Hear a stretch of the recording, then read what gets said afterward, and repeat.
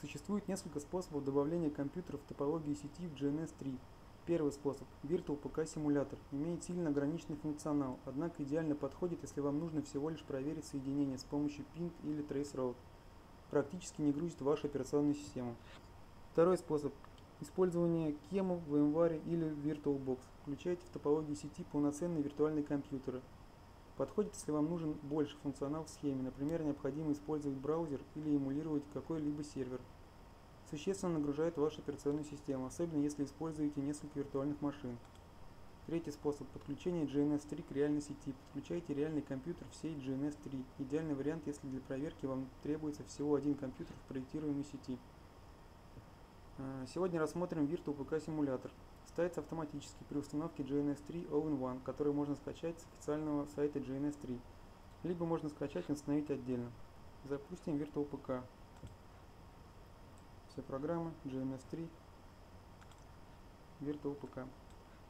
Откроется окно, подобное стандартному интерпретатору командной строки Windows. Номер в квадратных скобках указывает номер виртуального компьютера, к которому мы как бы подключены. Для переключения на другой хост достаточно ввести цифру от 1 до 9. К примеру 2. Сменившаяся цифра означает, что мы переключились к другому компьютеру. Всего доступно 9 хостов. Для просмотра доступных команд используйте знак вопрос. Чтобы просмотреть существующую конфигурацию, используйте команду show.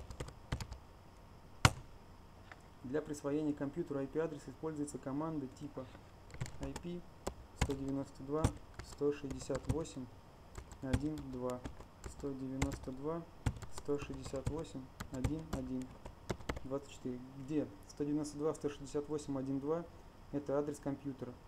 192 168 1 1 это шлюз по умолчанию. 24 маска сети.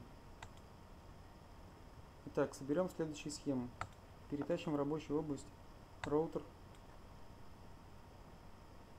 и два компьютера.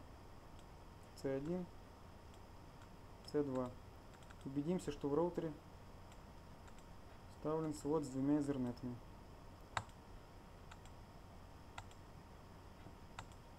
Итак, для того, чтобы подключить компьютеры C1 и C2 к роутеру, сначала необходимо создать интерфейсы. Для этого необходимо зайти в конфигурацию компьютера. В вкладке New UDP выбрать локальный порт и, и Remote порт. Для C1 выбираем Local порт 3000 и Remote порт 2000 для C2 3001 и 2001. Запустив, запускаем Virtual PK. Наберем команду show. Увидим, что Virtual PK 1 имеет вокальный порт 3000 и вокальный порт 2000 и Remote порт 3000. Э, следовательно, а, Virtual PK 2 имеет вокальный порт 2001 и ремонт порт 3001. Следовательно, на Virtual PK 1 будет вводиться настройки для C1, а на Virtual PK 2 будут вводиться настройки для C2. Итак, введем IP-адрес для первого компьютера.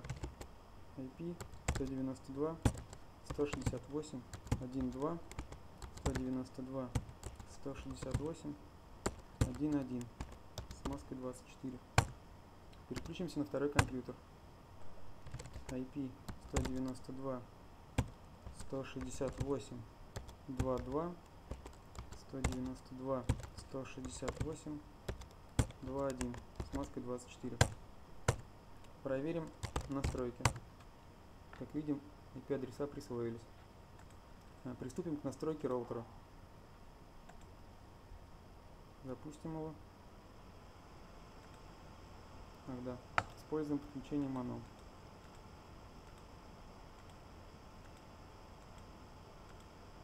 Включаем к созданным нами интерфейсам. Подключимся по консоли. Итак, нам необходимо настроить интерфейсы фаз Ethernet 00, к которому подключен компьютер C1, и интерфейс фаз Ethernet 01, которому подключен компьютер C2. Приступим. conft int класс ethernet 00 IP адрес 192 168 1.1 с маской 255 255 255 0 поднимем интерфейс настроим интерфейс фаз ethernet 01 IP адрес. 192 168 2.1 с маской 255 255 255 0 поднимем интерфейс проверим соединение сначала с роутера Попо- попробуем пропинговать компьютер C1 192 168 1.2 пинг успешный. Проверим компьютер C2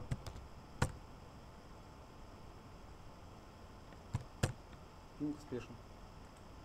Теперь попробуем то же самое сделать Virtual PK симуляторе. Переключимся на первый компьютер. Попробуем пропинговать.